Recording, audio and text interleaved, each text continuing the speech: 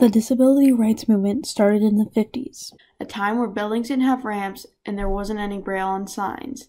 A time where you could be removed from school if your IQ was below 50 and you could be arrested or fined if you were disabled and out in public view because of ugly laws. NARC was created in the 1950s as a reaction towards this discrimination towards kids with low IQs. NARC provided services like counseling for parents, classes, and social groups. However, the disability rights movement didn't really take off until the 1960s, after the Civil Rights Act, which outlawed discrimination against black people. The disability rights movement took a lot of inspiration from the civil rights movement, especially since it happened right after it. In 1968, the Architectural Barriers Act, ABA, was passed. It stated that any building funded by federal government must be accessible to everyone, including people with disabilities. In 1973, the 504 was written into law. It made it so that any program funded by federal government could not discriminate against disabled people. It had been approved and everything. It just needed things like definitions and regulations. It also needed the signature of Joseph A. Califano Jr., the Secretary of HEW, the Department of Health, Education, and Welfare. However, HEW was working to weaken the 504, and Califano wasn't signing it. Soon, 1974 came. No signature. 1975, no signature. 1976, no signature. 1977, no signature. Around that time, the American Coalition of Citizens with Disabilities was formed, the ACCD. The ACCD realized HEW was trying to stop the 504, so they demanded that the 504 be put into action by April 4th, or they would respond with sit ins. A sit in is where people go and sit around a building or place that they're protesting and just wait there until what they want to get done gets done. It's a form of protest mirrored by the civil rights movement. When Martin Luther King took a bunch of protesters to a courthouse to protest voting discrimination toward black people. April 4th came and went, but the 504 collected dust on Califano's desk. It was time for a sit in. But this sit in wasn't just off the cuff, it was thoroughly planned since April 5th, and committees were set up within the ACCD. Committees that focused on things like public speakers, media, fundraising, medics, publicity, and connecting with other groups.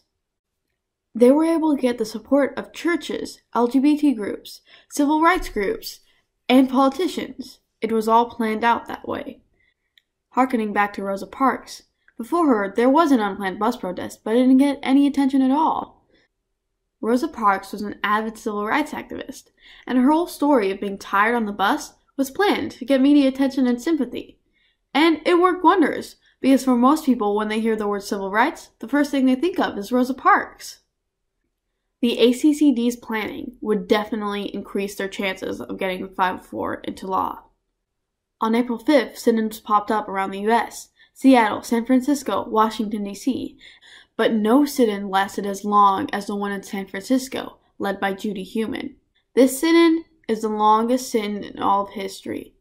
It lasted 28 days, and more than 200 people stayed till the end. They lived and slept in a cramped federal office building for over 28 days.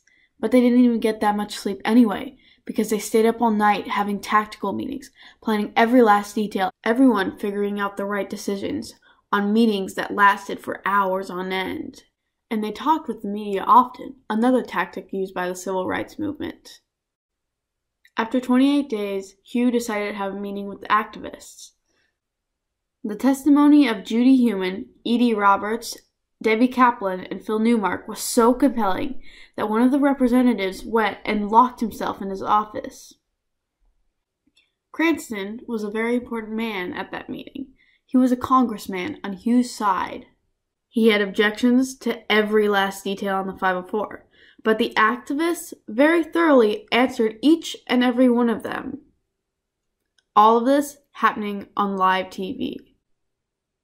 The last to speak at the meeting was Frank Bowe, and he said, Senator, we are not second class citizens, we are third class citizens.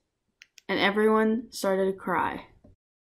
Califano finally signed his four year old paperwork that gave protections against discrimination for disabled people. Just a year after the month long sit in, there was a protest against buses. 19 kids surrounded a bus with their wheelchairs, stopping it from moving, and they started chanting, We will ride. This sparked more bus protests in 1983. People would not only surround the bus with their wheelchairs, but they would crawl out of their wheelchairs and crawl up into the bus.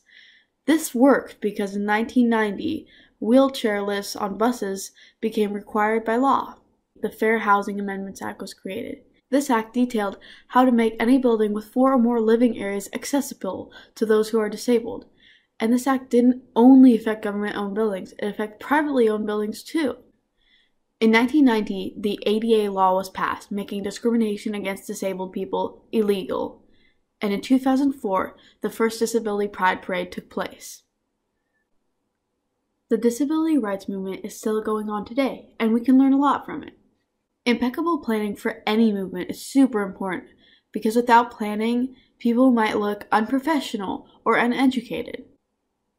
Media involvement is also very important because it can get your message out quicker and to more people. And finally, nonviolence is super important because any form of violence that you use in your protests can be used against you to make you look bad and discredit all your arguments. If you are interested in any of the topics discussed in this video, links to all my sources are in the description.